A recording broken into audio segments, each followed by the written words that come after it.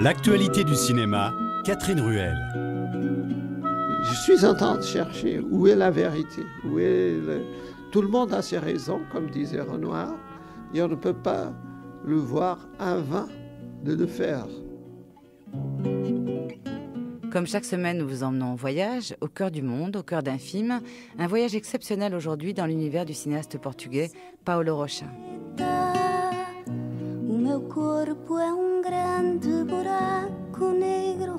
ao fundo da minha Paolo Rocha présente en ce moment en France son nouveau film, La racine du cœur, deuxième volet d'un diptyque commencé avec Le fleuve d'or. Depuis 1963, date de son premier film, il promène sa silhouette frêle de plateau de cinéma en plateau de cinéma, glanant de ci, de là, des plus grandes récompenses internationales. Il a apporté sur les écrans un univers visuel et sonore très particulier, à la fois réaliste, onirique et inspiré. Et s'il revendique l'influence de son maître Jean Renoir, dont il a été l'assistant, s'il se sent proche de Louis Buñuel, de Fellini ou de Fassbinder, il est avant tout lui-même, Paolo Rocha, les pieds ancrés dans son Portugal natal, la tête tournée vers les étoiles.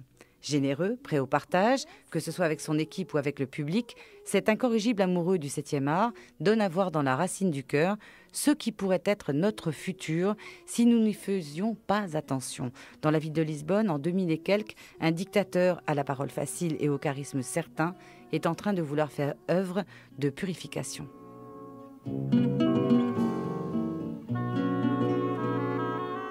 Chaque séquence, chaque plan font sens, mais loin d'être un cinéaste à message, même si ses films sont politiques au sens beau et fort du terme, Paolo Rocha entraîne le spectateur dans un délire onirique, une balade au pays des images, des sons et des émotions. Il a eu envie de partager son bonheur de filmer, la leçon de cinéma de Paolo Rocha. J'aime filmer, donner la parole à, toutes les contradictions. Alors, pour moi, euh, une ville, par exemple, dans ce cas, dans ce film, le personnage principal est peut-être la ville de Lisbonne, avec tous ses fantômes, ses noirceurs, ses, son charme. Alors, pour moi, le plan séquence permet à, ce qui est derrière les acteurs principaux puisse euh, interrompre et même dire, euh, disons, les murs avec leurs pancartes, avec les affiches, avec, leur mémoire, peut-être une centaine d'années. Je veux qu'il soit un miroir actif, donc l'espace et même les, les choses qui sont écrites sur les murs, euh, tout ça existe, tout ça a une certaine énergie.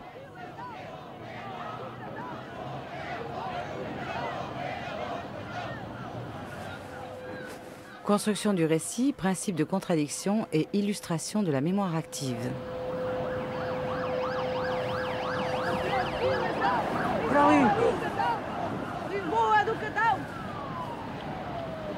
Dans la vie de chaque jour, il n'y a que ça.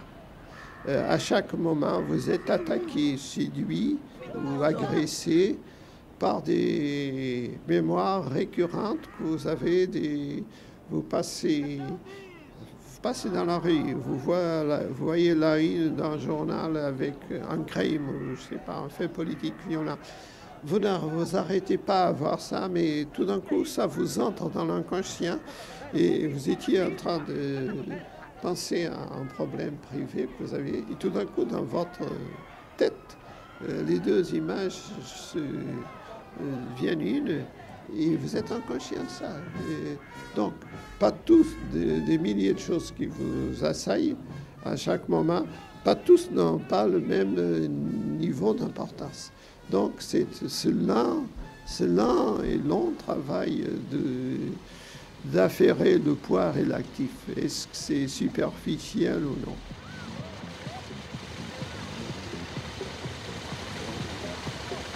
Du choix et de l'importance des décors et de l'inscription des acteurs dans le réel.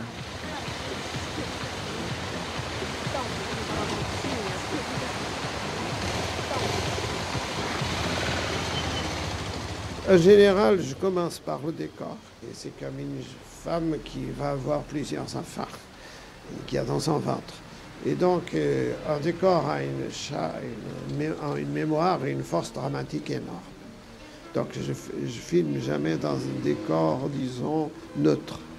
Il faut que ça, ça demande créer à vivre. Et donc, c'est jamais une seule image, c'est plutôt des images contradictoires. Et on est là avec la caméra, souvent je filme en travelling, même avec des grands mouvements de caméra. Et on est là et on, est en train de choisir, euh, parce que les acteurs aussi sont en train de chercher sa vérité.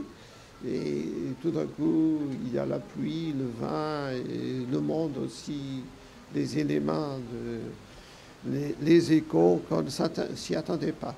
Donc ça fait partie d'une certaine vérité du monde.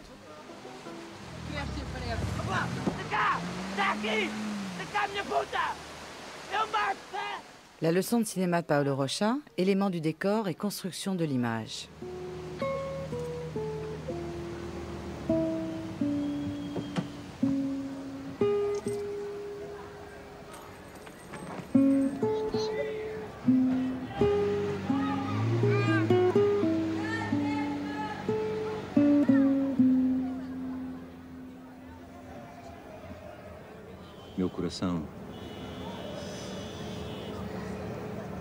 Je filme les grandes, les grands décors de Lisbonne avec les statues qui dominent Lisbonne comme s'ils étaient encore vivants, comme si c'était encore des personnages qui sont en train de regarder, de décider.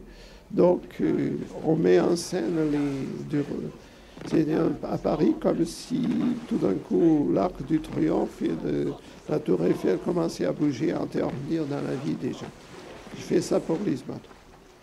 Donc, avec ma théorie que les décors ne doivent pas être là pour enjoliver le récit, que les décors sont tellement actifs dans la vie des gens, il ne faut pas les filmer passivement.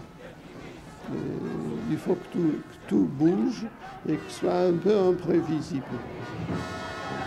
Dans La Racine du Cœur, un des plans séquences a mis en scène 400 figurants. Une jeune femme à sa fenêtre agite un drapeau. Devant elle, dans la rue, des manifestants. La caméra recule. Elle ferme la fenêtre. On la suit. Elle va vers la gauche, ouvre une autre fenêtre. La caméra la dépasse et plonge de nouveau dans la rue. Les gens, s'ils sont impliqués dans un plan séquence, s'il y a des centaines de personnes qui dans un plan séquence qu'il faut 4 ou 5 heures pour mettre au point, finalement, même des figurants pas très bons petit à petit, ils commencent à y croire. Ils commencent presque à se cogner, à cogner sur leurs ennemis. Et ça devient une sorte de cafarnaum difficilement. Euh, donc après, ils disent euh, ne vous tuez pas. Donc ça devient imprévisible et très très vivant. C'est quelque chose que vous tournez plusieurs fois Non, on peut tourner ça qu'une fois. On a fait trois fois tout de même.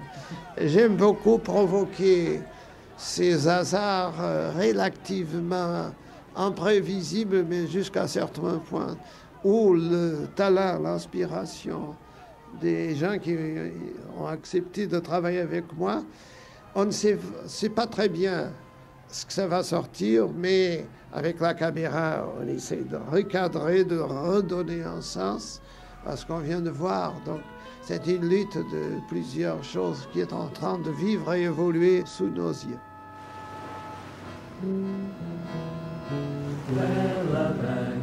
La leçon de cinéma de Paolo Rocha de l'importance des répétitions.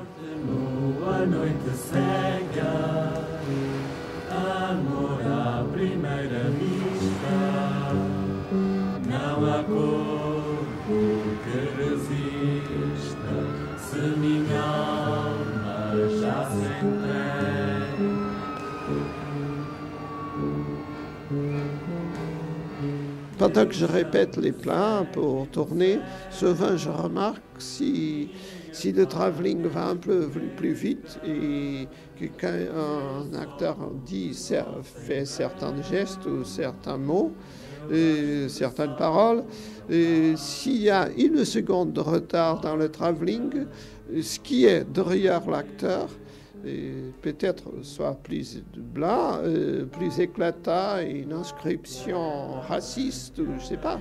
Donc des mémoires, euh, donc le monde extérieur parle.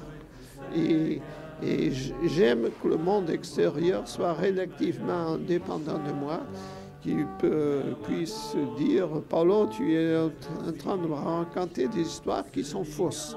le scénario est faux. l'acteur. Donc, pendant les répétitions, on essaye d'élaguer, de faire partir euh, ces choses euh, qui sont là mortes, et, ou alors montrent que ce que les acteurs sont en train de faire est faux. A pombinha da Catrina andava de mão em mão. Foi parar à casa nova, à gaiola do catão. Foi parar à casa nova, à gaiola do catão. À gaiola do catão, ao poleiro do poder. À gaiola do catão, ao poleiro do poder. Même les échos des de. Donc. Euh, si un acteur, si un travesti avec ses gros sabots, qui, il peut commenter ce qu'il est en train de faire. C'est comme euh, euh, le décor devient un tambour, euh, une, surface qui fait un commentaire, une sorte de musique naturelle. Et donc, comme je filme jamais ce que je sais, j'essaie de connaître ce que je connais pas. Donc, c'est des interrogations qui, qui suis là avec mes complices, les acteurs, les techniciens. Tout le temps, on est en train de dire Ah, ça colle bien, ça, c'est un bon réflexe, c'est une réalité nouvelle, meilleure que ce qu'on avait avant. Mais souvent, au début, on trouve que c'est idiot ce qu'on était en train de vouloir faire.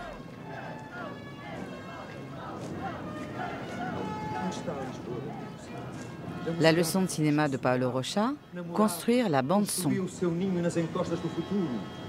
Onde está a Lisboa de cara lavada, branca e ordeira?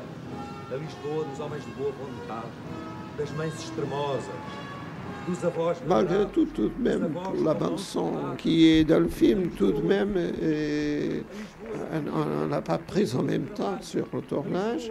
Et je me dis, parfois ça reste relativement trop, comment dire, obscur ou trop pas déterminé. Alors j'ai essayé de repenser les priorités est-ce que là, je donne la, parole aux gens qui sont à gauche, au fond Donc, il y a toujours des commentaires euh, inattendus, ironiques, ou alors tout d'un coup, ce qui était euh, ridicule, ça devient sublime. Et il faut que je sois ouvert à ça. Donc, euh, l'établissement de la bande sonore, c'est le dernier moment où on peut faire justice aux différentes mémoires et forces dynamiques qui sont là en train de se disputer pour nous voir. Est-ce qu'il y a une vérité fidèle ou est-ce que je suis en train de filmer deux ou trois vérités qui, chacune a sa manière à, à droit de vivre?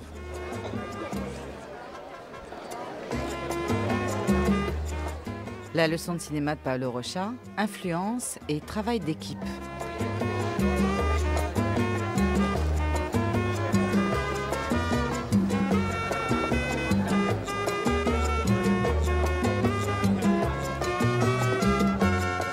Renoir, qui était un géant, il avait presque 2 mètres d'auteur, il 120 kilos de... Et il avait 40 films géniaux derrière lui il demandait sincèrement l'opinion à tout le monde. Même euh, à la femme de ménage du studio, il se laissait imprégner toutes les voix discordantes euh, de tout le monde. Et donc, on ne voyait pas que c'était le grand Renoir qui était en train d'imposer sa, sa vision divine à des gens médiocres qui étaient là en train de travailler parce qu'il fallait bien. Et donc, c'était pas le grand patron. Et, et, là, je fais très attention qu'en travaillant, euh, si je peux avoir une confiance totale aux gens, que je pense, c'est pas tellement dans leur, euh, leur, qualité intellectuelle ou de haut niveau artistique, mais si dans leur trip, ils sont bien. Si on peut leur faire confiance parce qu'on filme toujours une situation de grande crise. Les plans que j'ai faits sont très difficiles à faire. et on bataille pendant des heures et des heures et on ne sait pas si on va réussir. Et ça dépend de, l'énergie et d'une certaine santé ou, ou génie privé de s'en sortir. Donc, jusqu'au dernier moment, c'est un peu perdu, mais on est sûr que si on réunit une vingtaine de personnes de bonne qualité, on va trouver une, porte pour sortir, quelque chose qui sonne juste.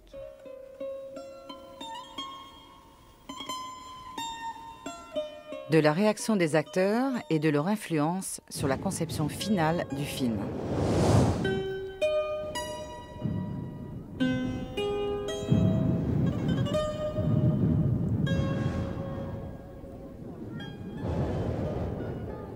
Souvent, les premières réactions, et le deuxième et le troisième des acteurs principaux le caméraman, étaient assez décevantes.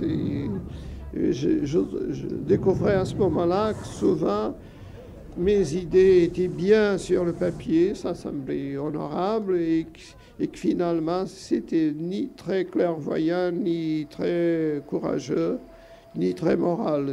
On voyait dans le concret selon les réactions instinctives de l'acteur, euh, que ça ne marchait pas, que ça ne sentait pas bon, ça sentait moraliste, ça sentait... Bon, le film est très peu, euh, disons, politiquement correct ou même esthétiquement correct, parce que Vraiment, s'il y avait là quelqu'un dont l'instinct de respecter, qui était passionnément pour, une solution, il, faut, il fallait la laisser. Bonne nuit. La leçon de cinéma de Paolo Rocha, les défis.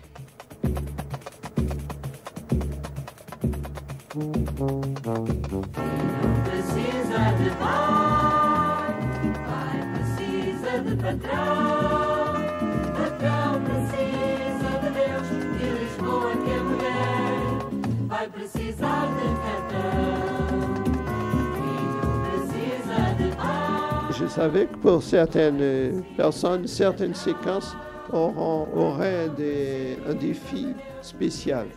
par exemple, le dernier plan. À ce moment-là, Caton a été a tout perdu de sa carrière politique par, amour. donc il revient à la maison comme un animal battu et il veut peut-être, il pense, tuer Sylvia qu'il a trahi en public, il a tout gâché, elle a tout gâché. Et, tout d'un coup, il s'aperçoit qu'elle est sur la terrasse et donc peut-être il pense la tuer, je ne sais pas, se venger. Et tout d'un coup, nous la voyons comme une poupée très douce, inématique, dans une position bizarre, trop enfantine. Et tout d'un coup, elle dit Bonsoir chérie.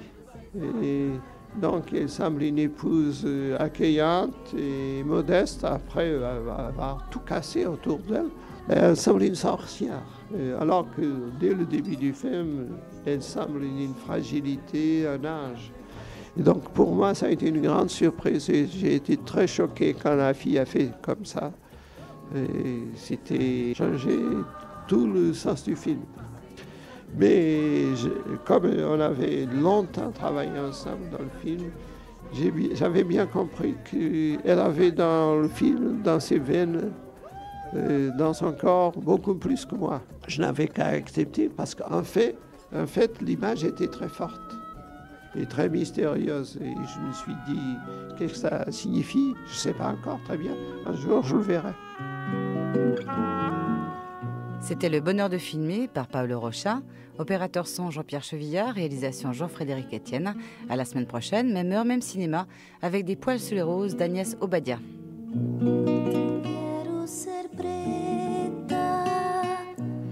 meu corpo é um grande buraco negro e ao fundo.